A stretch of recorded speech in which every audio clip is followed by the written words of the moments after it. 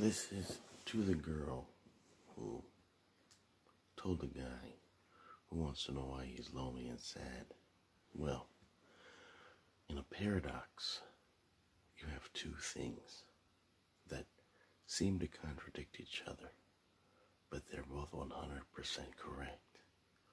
So when you tell somebody in a vertical, um, perpetual bliss wormhole in the matrix that somebody can't find the white rabbit in the rabbit hole, it means there's something subconsciously wrong in a metaphorical, symbolic sense of the word.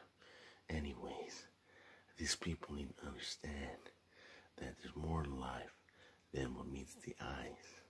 And eyes are only E equals mc squared energy equals mass times the speed of light squared. I, Einstein's uh, theory of relativity times 15. Thank you